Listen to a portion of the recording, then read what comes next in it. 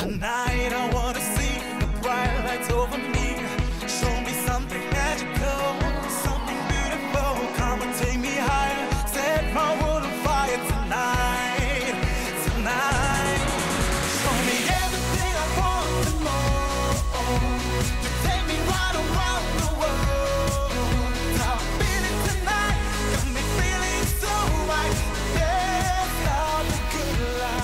week on Top Billing, godfather of Kwaito Tsepo Stoan Seate is super dad to his three daughters. We're in France at the magical home of a clown who created a stage show all about snow. Meet Thato Matabane, the mover and shaker behind an original African denim brand. New Springbok Franco Mostert weds his high school sweetheart, Jean-Marie Grobler. Shark stars Sbura Sithole and Giant Mtyanda bring yoga and rap to rugby. Katherine Mary Pichulik grabs the world's attention with her handcrafted jewelry. And Nico Panagio brings you our lineup from a magnificent treehouse crafted in concrete. Good evening, it's Top Billing Night. Welcome to the show. Tonight's location is one built on success in the kitchen. More specifically, this home belongs to the first South African to earn a Michelin star for his restaurant, Chef Jan Hendrik van der Westhuizen. Taking his own name, Jan, the restaurant opened in Nice on the French Riviera. With a menu inspired by the chef's grandmother, it draws on a wealth of South African cooking. His partner, Grant Bacon, is equally talented in the design field. They had this treetop hideaway built four years ago. Grant lives here, while Jan Hendrik returns home for inspiration. Well, you're the first South African to earn a Michelin star. You've got a home in Cape Town, you've got a home in Nice. I just know this is a story South Africans want to hear. It's really the story of going down to the south of France for a weekend and realizing, whoa, there's so many South Africans working on these yachts and that people want South Africans to cook for them and it's, it's so popular. I think the time and the place was right. So I found this motorcycle repair shop and it had the possibility of a restaurant on it and it was cheap and it was in a cool area. It was like the Woodstock of Cape Town. And at the time I said, you know, I need to, to open a restaurant. Well, the restaurant's obviously doing very well. So, what are you serving people and what's your food philosophy? I think my philosophy is I cook what I know, I cook what I'm comfortable with, and we started serving milk tart, and beef tongue with mustard sauce. And there was this incredible curiosity of what South African food is about, and of course, South African wine, which is predominantly on our wine list. We followed Jan Hendrik to where they grow the kind of seasonal ingredients that have seen his eatery listed as one of the 15 best restaurants in the world by Condé Nast. The magazine praised his healthy modern menu, which includes Cape seed loaf and dishes like slow cooked lamb shank, simmered in coffee and pinotage. A chef's garden says so much about his cooking. What have we got here? We always have herbs, and herbs is just uh, essential to, to any kitchen. But from aubergine to, to chilies, peppers, so pretty much everything that, that we love and we, we like to eat. You have to source most of your ingredients in France. Do you use any South African ingredients in your restaurant? We do. There's a, of course, there's a big limitation to that. Um, we, we try to get uh, buchu, which I normally take from South Africa over. Uh, there's Mrs. Ball's chutney. There's there's rooibos tea. Uh, there's there's lots of things, and of course, then it's the way how we use the ingredients, uh, French ingredients, to cook South African. And what about the other way around? How much has being in France influenced your menu? When I went to Stellenbosch and trained at the culinary school, you kind of get trained to understand French cuisine. And of course, there's so many recipes the French Huguenots brought to the Cape. We've turned brioche into mosbolletjies, or we've turned a flan into milk tart. You learn over time what the French like. They don't like cinnamon, they don't like spicy food. So we need to adjust the bobotie slightly just to fit with it. And Henrik, you know, I can't help but to notice that your house is floating above your garden. It is pretty amazing, isn't it? And I think there was so much technical issues that went with it. I think the best person to ask is Grant. Can't wait to hear that story. Grant has a career in the fishing industry, but also a passion for interiors and design.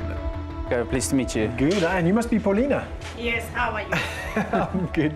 Paulina Heisey is Jan's sous chef at home, and we left lunch to the pros. Grant, as I understand it, you are the mastermind behind this incredible creation.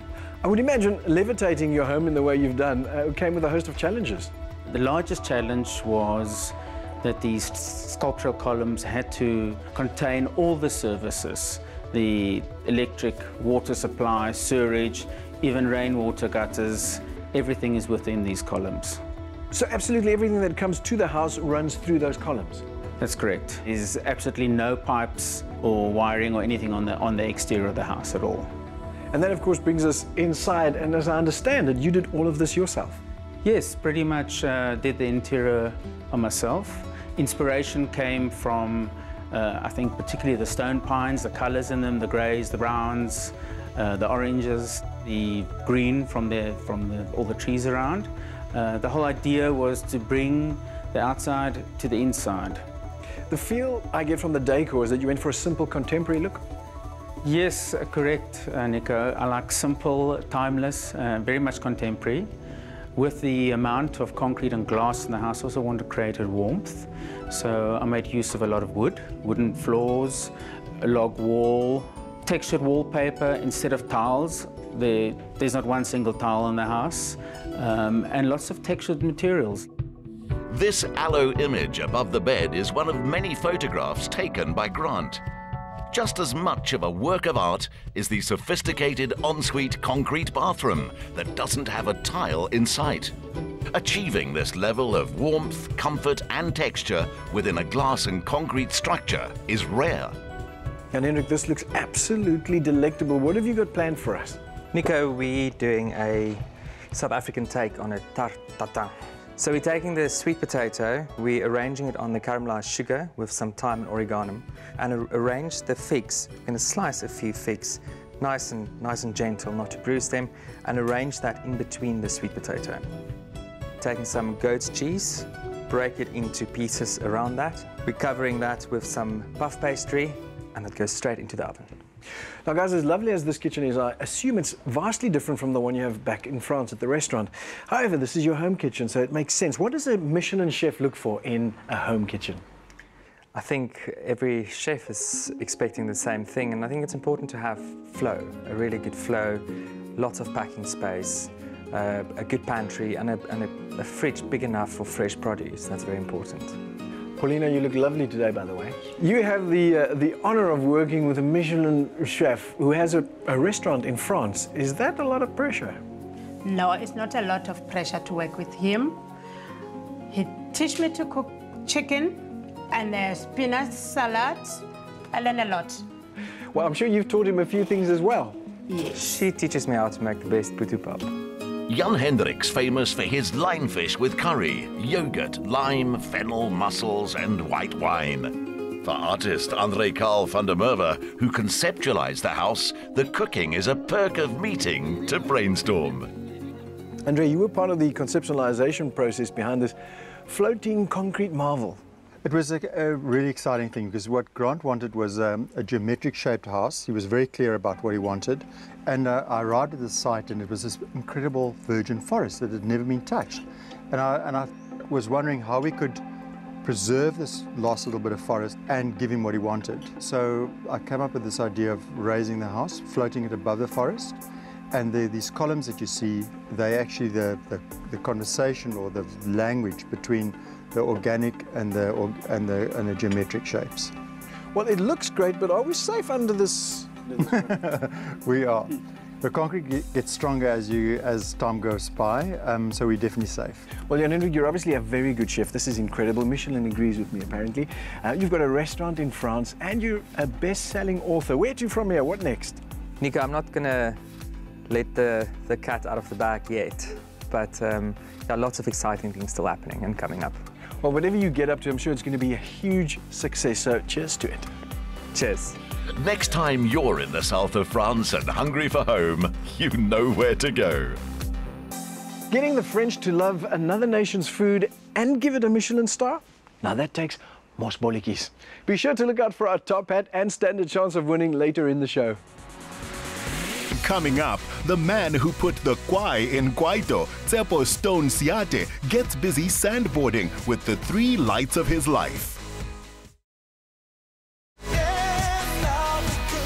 This month, we've championed our youth and celebrated Father's Day. Now, one man who is not only a much loved dad to his three daughters, but also a mentor to young artists and arguably the father of Kwaito music, it's Tsepo Stoan Seate.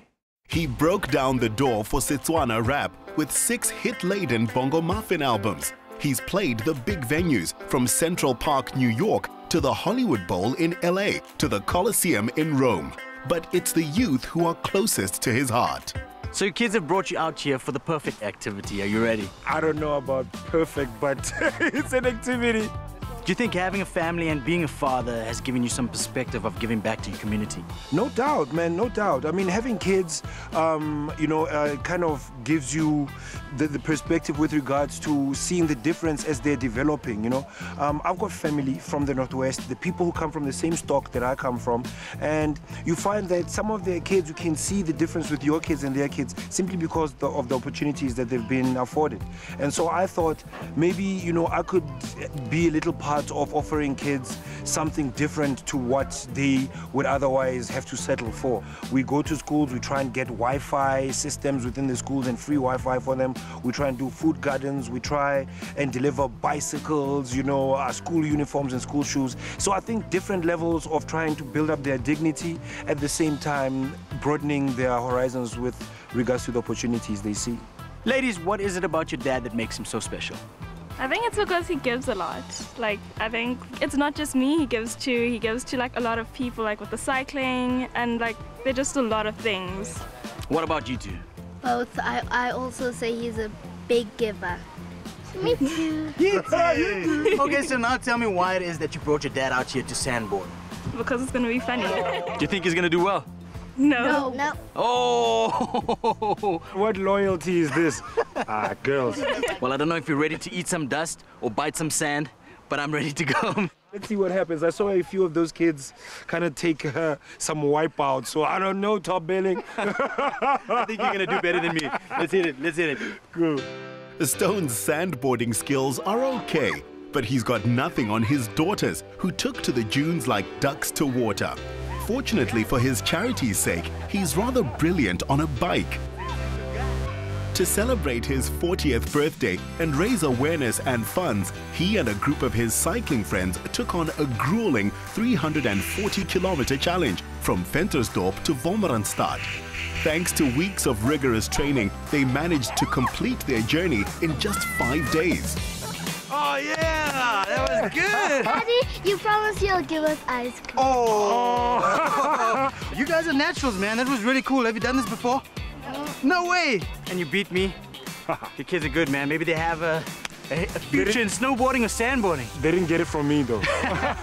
okay, okay, fine. Let's go get some ice cream. Let's do that. Stoan shares his home with his wife, Dolly, and their daughters. Hey, there we go. hey. Uh, thank you. Well, Let's make I'm ice cream for myself Daddy. to your humble home. Keep Kelly ice cream. Hey, man, you know, I think there'll be plenty of that here. Beautiful home you have here. Oh, thank you very much, Chris. And, oh, come on, man. You can't do it all. You're an artist as well. I'm an artist, man. I'm trained right through from uh, grade one through matric and did a bit of it in tertiary. Wow, that's very cool. I see you got some artwork on the side there as well. Yeah, You're yeah. quite good, actually. The three wise men, you know. right, right. Okay, the 40-20 phenomenon. This is where and how you actually take it forward. Yeah, yeah, this is how we prepare. I mean, it's, it's, it's pretty physically tax, taxing, you know? And, you know, when we get to each destination as we ride, we have to go to schools um, to do uh, activations and programs in the schools. Different schools have different challenges. So you still need to have the energy to be able to take the ride in the mornings and still have the energy in the afternoon to do the work. You're really using what you've done and achieved uh, to give back to the community, but it all started somewhere. And Just checking out the memorabilia here, man. This has got to have some sort of a good story. Hey man, I mean, there have been times when we win a SAMA and we were, say, up against Brenda Fassie. I think this is like the fourth. These are the two versions. There must be about four different versions of SAMAs. It's the last one now, I think. Yeah. Wow, wow. But this year, man, this must have been an absolute highlight for you. Look at this. I can't believe this actually even happened. No, man, I mean, it's a privilege. My music and my language have really put me into spaces that I could not have dreamt to be in, you know? With Madiba sitting on one side and Michael Jackson sitting on the other side, and you can have a conversation the whole afternoon with Michael, and then at the end of it all, you get to give the speech on behalf of all the guests that are there, you know? Um, it, it's a special time and a special day in my life that I'll never forget. Just looking at this collage of pictures here, I can see that it's not only music that's important to you, but family. Where did your influence for music start? My grandmother, you know, was a great poet. Family gatherings, you know, funerals, weddings, whatever, she would drop a freestyle verse easy. And I later found out I never grew up with my dad. You know, um, my parents were divorced uh, when I was really, really young and I was a toddler. And I found out later from one of the musicians at a show I was emceeing for that and he was crying. He was like literally like teary eyed, talking about how he's never worked a day in his life because my dad taught him music and taught him the keyboard. I didn't know that about him, you know? So I guess it's in my blood. It's something I've been doing since school. I started, you know, doing demos when I was around 12 years old. And when I was 19, I met Oskido. And, you know, the rest is history, man. It's been two decades since he teamed up with music producer Oskido, and they're still turning out the hits. How do you keep reinventing yourself? You've been in the industry for 20 years. Uh-huh. I mean, look, uh, for me, it's keeping an open mind with regards to the changes that are happening in the industry and learning new skills. Like I started with my DJ thing, and you know, it's it's helped me actually see music from a different perspective. Because as a lyricist, I've always looked at and heard music from a lyricist perspective, and for the first time, I can actually identify with the instrumentalists. You know, yeah, music has grown, and its influence has really grown in my life recently. Stoan's eldest daughter, 15 year old Ayana, and his youngest, Imani, who's seven, both love music. Nine year old Zahara is most comfy in the kitchen, where she enjoys baking. But this is a family with a natural flair for performing.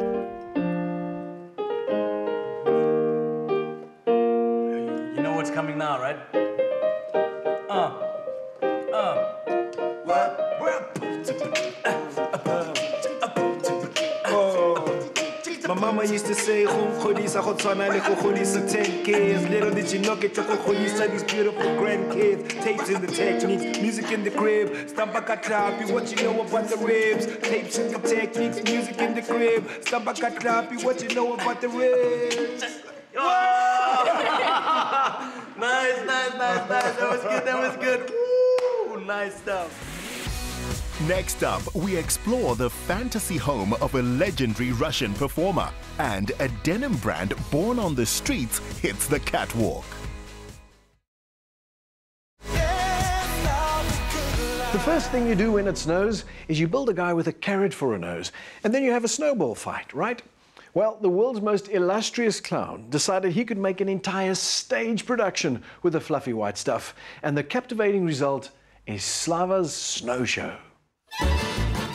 Lauded as a theatre classic by the Times in London and seen in 120 cities, the show has constantly evolved in the two decades since Slava Polunin created it. He's one of the world's most famous clowns, and we've been invited to explore the inner workings of his brilliant mind and his quirky home. Watching Slava's snow show or walking through his garden is like reading a picture book. There are no words spoken in the production, and that brings your imagination into the story, making it a journey unique to each individual. The Red Garden is inspired by the East and was created by Slava's friends who he met along his travels, Korean monks, and it even features a beautiful Korean temple. His additions to the original 12th century Millhouse property reflect the creative mind of a man who was also artistic director of the oldest circus in Russia. Within three hectares of land, you'll find so many nooks and crannies and different places to explore. You almost expect to find a fairy or a gnome behind each corner. Adults happily return to their childhood. Mysterious, magical, and inspirational are the three words that I would use to describe this amazing property. If you can't be inspired here, you can't be inspired anywhere. Slava lives here with his family, who are as involved in creating these fantasy worlds as he is. His son, Vanya Polunin, designs installations and costumes for the show and helped create his father's art laboratory. It's little wonder that a gypsy scene features so prominently in their garden. Vanya first appeared on stage at the age of one and felt so at home he has toured with the family ever since. Vanya, was it a natural evolution for you to take after your father and become a clown? I think for, for a kid in an environment uh, working with uh, clowns, it's impossible to stay away from stage. As a child, when you see them fooling around on stage, you see it as something so fun that you want to participate.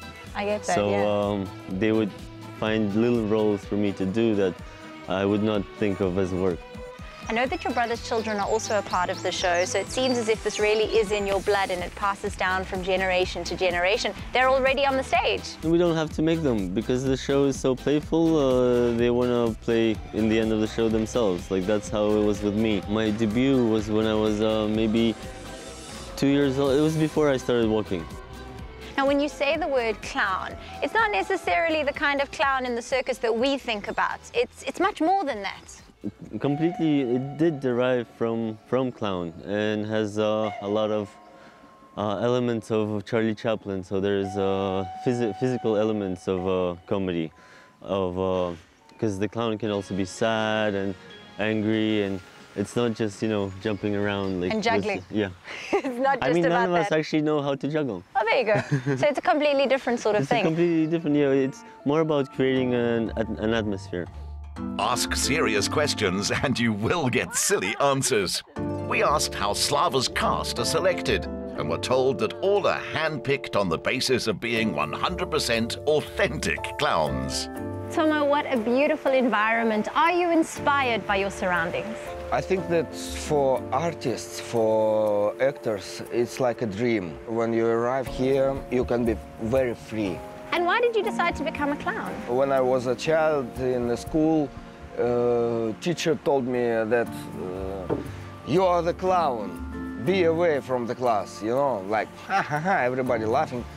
Through the years, I understood that this is a, for everybody. No language, no age, no philosophy. This is a magic. That's why. Half an hour here and that magic transports you. There are no shortage of surprises here in the garden. I mean, a giant pig. Why? Who knows? This is Slava's world. It was time to meet the man himself inside the home he calls Le Moulin Jaune, or the Yellow Mill. Beware, dreams come true, warns the sign at the door. And once inside, it's like a fantasy world mixing the lion, the witch, and the wardrobe with a Salvador Dali painting. It really makes you smile. As soon as you walk in here, you feel as if you're joyful and happy. Был такой театральный философ в России I followed the idea of a Russian uh, philosopher, Evreinov, And the idea is uh, of making life a uh, theater is to create your life in the same way that you create art. This is a creative person's heaven. Like his show, these rooms transport you into a world of colours, feelings, and humorous but nostalgic details. Slav, I can see why this is called Grandma's Room. Tell me about all the different knickknacks and artifacts that you've collected here. Such funny, uh, quaint, new things. For example, this grandma. The clown in chief surrounds himself in the kind of environment he performed in during his years as part of Cirque du Soleil's Alegria show. Hundreds of artists have come through this place of imagined reality and gone on to create many shows. Slava prefers to perform in a visual language. Tell me about this particular room. This is the most important part of the house because in Russia and elsewhere, this is the heart of the house. and we call it Mexico because everything is bright and uh, loud, and it's like Mexico itself. Where did the inspiration for Snow Show come from? The principal thing is the snow. This is Russia, there's a lot of snow, this, those are memories from my childhood. I remembered when my mother went to work and she would be going into the snow, and I had fears that she'll never come back. But at the same time, snow is incredible beauty because there's nothing as beautiful as snow when it covers everything. Rich in fantasy and memories. Slava Snow Show runs from July the 26th till August the 14th at the Teatro Montecasino in Joburg. Then at the Artscape Opera House in Cape Town from the 17th to the 28th of August. I love that show for being as wonderfully crazy as it is entertaining. And it took a real maverick to make it work. A guy like our next entrepreneur who had the idea for an original South African denim brand. He backed himself and he won.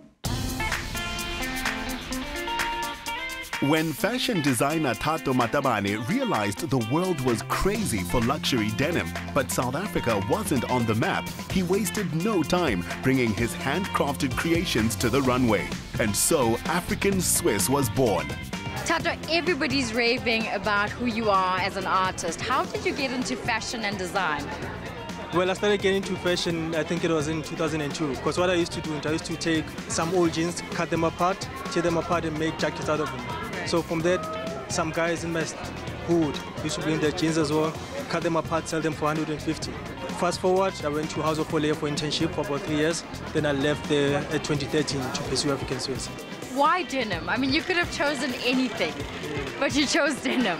Yeah, there's a reason for that.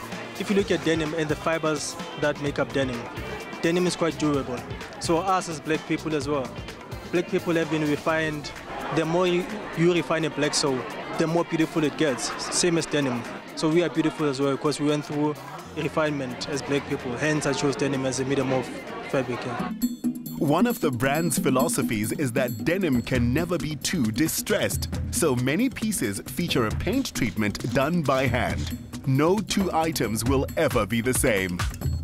Denim has been here for hundreds of years and it's timeless and it's easy to manipulate because you can take a plain denim that's not treated. We use paint, bleaching, sandpaper and after we do that it's something completely different and you sell that at a higher price and that's a high-end denim. So we can do a lot of things out of denim. His latest collection was inspired by the idea of combining the majesty of a Maasai warrior with the edge and look of a biker. What stood out for you? I mean, there were a number of things that I was like, could you honestly do that with denim? I like the way they always play around with the shapes and jeans um, and play with different uh, zips in the jeans as well. Everything was great. I love the way that they really tried to have a solid African established look with all their different um, looks that they showed. And, and they had that theme going throughout. And the African Swiss, of course, mixing in with the Swiss being more Western, which is what they're mixing with the denim. And they're using it in a great and unique way. So, yeah, more being a predominantly male designer, what did you think of uh, African Swiss's collection this evening? Well, African Swiss, what I like, this is the only designer that I know of that is able to get denim very, very genuinely accurate. And, and I love how he actually pushes that distressed look, and I think it was absolutely marvelous. It's nice to see when a designer actually pushes the envelope and gives the audience an element of surprise. Brother, you walked in the collection this evening. What did it feel like wearing all that kind of denim that I've probably never seen before? Wow, what can I say? You feel incredible walking in those old garments, you know, the, the, the material, the feeling of, of walking on the runway is quite, it's quite impressive, it's quite incredible. I feel like I own the world. I feel comfortable and confident.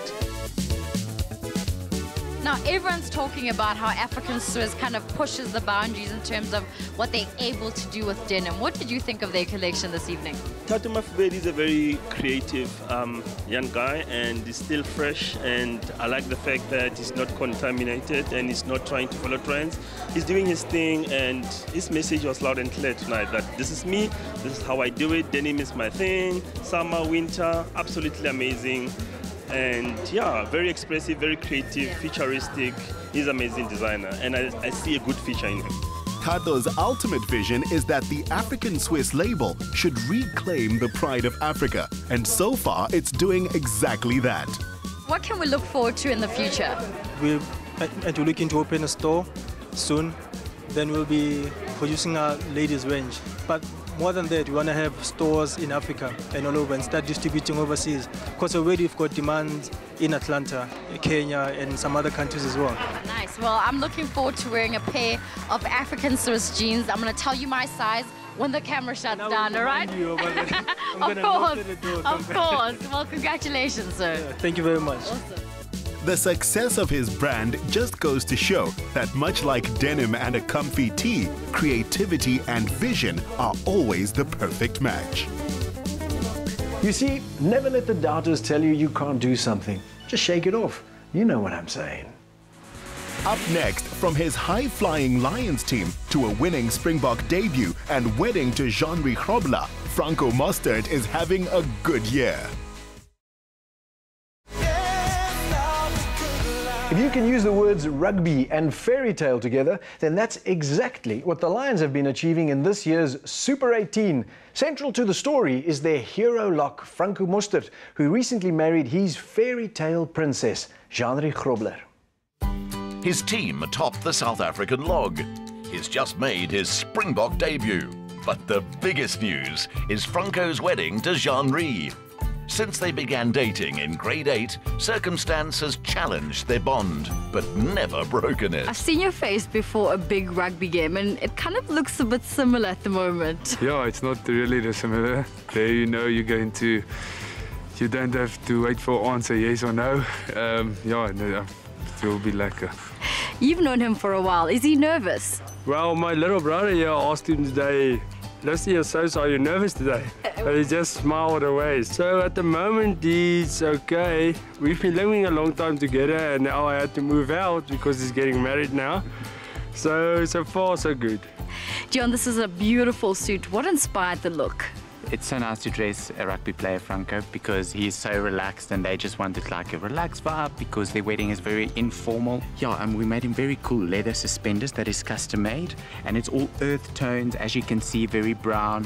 Because he's so tall, it is so difficult for him to find anything because all these rugby players, they, you know, they're in the gym and they, so they can't find anything. So yeah, it was nice to work and he had to get used to the pants because he, he was not used to wearing pants that actually fits him, hey.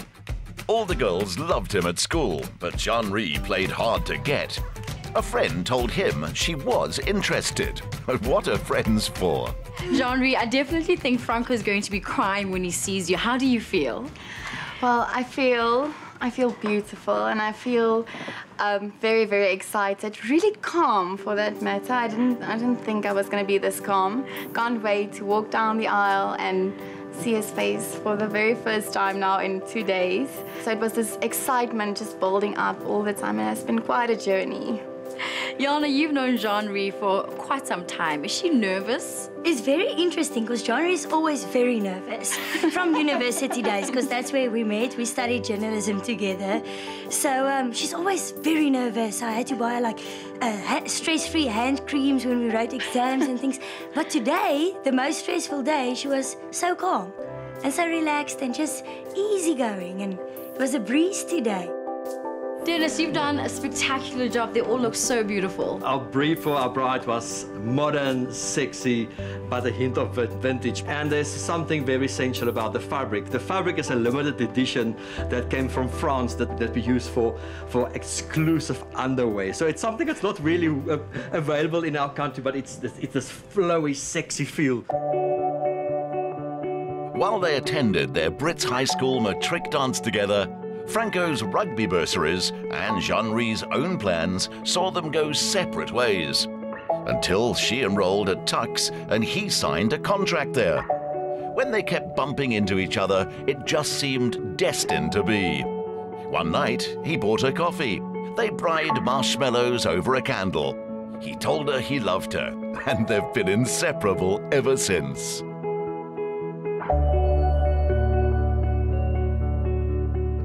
Was was really such a beautiful ceremony. Did you think that Franco could cry as much as he did? Listen, uh, yeah, actually, he surprised all of us. Um, I didn't know he had a, that, a, that much of a soft spot. Soft spot yeah, no, but it was very emotional, and it was a very beautiful uh, ceremony. Very intimate. Yeah. Yes. Yeah. I think today we definitely saw a different Franco to the one we're used to on a rugby field, right? Definitely. You know, he's a very physical player and he always puts his body on the line for the team. And um, we saw an emotional side, a, a softer side of, of, Franco, or we like to call him Sos. Uh, his surname is Mostert. So, yeah, it was really special, special ceremony, emotional, but fantastic, and we're so happy for them. What stood out for you? The dress. It was absolutely beautiful. Yeah. Yes. And the ceremony as well. It was a very, very nice ceremony. Sumi, the one that married them, she's marrying us as well in 19 days. So we're quite excited. She did an awesome job. And um, Johnny and Sos, what can you say? Perfect couple, perfect day. And yeah, it was awesome. This wedding reflects a wider story of the accomplishment of these friends.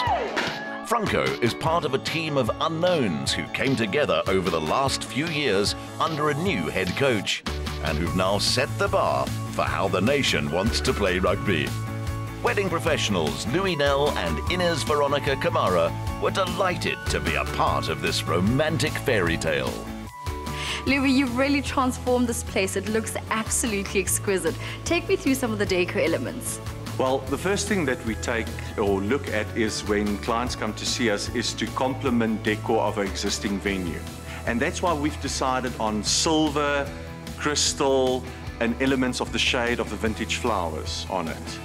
I've used the feta rose, which played a very important part in the romance of this couple. He proposed with the rose, so I had to bring it in. That's why you see them in the arrangements mixed with all the other flowers. It looks stunning. Decorating the cake was a figure of Franco scoring a try, and he helped the Springboks do just that in his first game. Six of coach Johan Ackermann's players are now Boks. Today has truly been a beautiful day. What stood out for you? When uh, came in, walking in the church, you know, um, the, the emotions on Franco's face, we all got a, a, a knob in our throat. It must be so beautiful for your family to accept a new member. Yeah, you know what, it's a special day for us because we don't have any girls. It's only the boys. And John is with Franco for a very long time, so it's nice to make a part of the Mostert family now, so we are very proud of her. What was it like when you first met Franco? At first, I didn't like him because he was a rebel. but afterwards, I found I find that he was like me. So I thought that um, I can't withhold this guy from our family. You guys have a similar story. You met in your teens, they met in their teens. Why do you think their relationship works? The kind of person that she is, she wants to resolve a problem. So when there's a problem, it must be resolved. I think that's why they they talk a problem through. The opening dance was to the track Franco chose in grade 8, the very first time he asked John Ree to dance. Today was truly a beautiful day. Which part was your favorite? I would say still the part where I walked in and I saw Franco's face and I just kept my eyes on him all the way. Yeah, for me the same way she walked in on the aisle. I couldn't stop my tears, but it was very nice and that's my best moment of the day. From the reception, everyone moved on to dance around the bonfire, well into the early hours and the couple took some highly prized time off from rugby for their honeymoon in Zanzibar.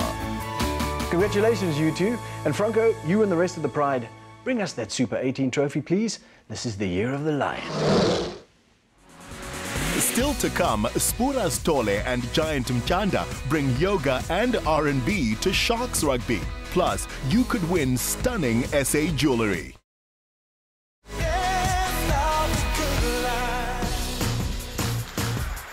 A dynamite wing for the Sharks, Sbura Sithole has represented South Africa at the Junior World Championships and in Sevens. Finding him in a yoga studio was surprising for an athlete who does the 100 meters in just over 10 seconds and is more associated with explosive power than meditation. But he's a multi-dimensional man. Sbura, it's quite a surprise to meet a professional rugby player at a yoga studio. Yeah, well, this is uh, quite a popular hangout spot for us. You can see I got you a juice as well to uh, kickstart your day. We all know about rugby, Sbura, but what was your childhood like? Well, I grew up in a pretty small town. Uh, my parents don't live in South Africa, they live in England. Um, so I was in boarding school and I lived with my uncle in, in the town as well. So basically my whole school career was surrounded with like, was all about sports. So that's all me and my friends did every day was just sport. And you know the small town living, there's like there's no girls for you guys to talk to or anything like that. So all you put your energy into is just sports. So yeah. Do you find you come here to get away for mental reasons or is it more physical? I think for us professional rugby players, um, it's always about rugby the whole time. And sometimes you just need a, a place where you can just get away from that all and, you know, just, you know, concentrate on yourself. So this is actually the perfect place for that. We'd arranged another approach to fitness in a stand-up paddleboarding session. Waiting for us was the relatively new face at the Sharks, Lubabalo Giant Mtyanda, and his 126 kilogram frame. So as you can see, we're subbing stand-up paddleboarding and giant, I'm sorry, but I couldn't picture you surfing. So I kind of got like a giant surfboard for you to try. So something new, something new to try. Hey? Usually we use the solid ground, but now, yeah, let's test the waters. Instructor Brandon Reed is an SUP racing champion. There's no sport on this planet that's going to get you in the same kind of shape as quickly and as effectively as stand-up paddleboarding. The most important aspect of anybody's sport and any game that you play is your core strength. And if you've got massively good core strength and balance, your body's absolutely in sync with, you know, from your toes to your, literally your ears, as it were. Before trying this in the surf, it's best to take baby paddles. For obvious reasons. Being quick on your feet and mobile is central to modern rugby, even for the heavy artillery. So this was good training. With Sbura and Giant in the team, the Sharks are having a good season, including victories over the Highlanders and the Hurricanes. They seem to have a formula for beating Kiwi sides, and all the players are singing from the same hymn sheet. What are the dynamics between the boys on and off the field? At the present moment with the team that we have now, look, the guys are really close to each other. I think everyone's just gelled well together. We're like literally family. Yeah. Because we like basically spend most of our lives together. We literally every day at the field, after the field, we, we're together. I love it. Giants, I learned today that Sbura is actually an undercover yoga guru. What are your hobbies and interests outside of rugby? It's it's more of singing. Uh, I love my basketball though, yeah. More those those two things, but basically I love my singing now. Okay, now you're gonna have to serenade me. Okay, yeah, I got it, I got it, I got it, I got it.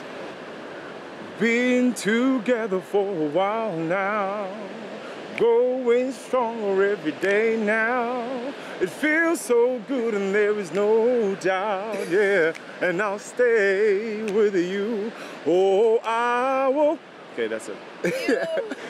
You have the most beautiful voice. Sbura, I know you rap. Can you hit me with a rhyme? Issue. Kulilega, I got the sun. 30 on my back. Sbura Sithole with the ball in my hand. I get going one with the mic in my hand. I get going tole. I'm young, I'm fresh. It's kinda like cash. The life you're thinking about, I'm dreaming it, man. The things you're dreaming about, I'm doing it, man. I'm the poster boy, right? They got the ghost cream, man. Chocolate. Brown. Oh, nicely done. Oh, that is brilliant. And I just got serenaded on this beautiful beach.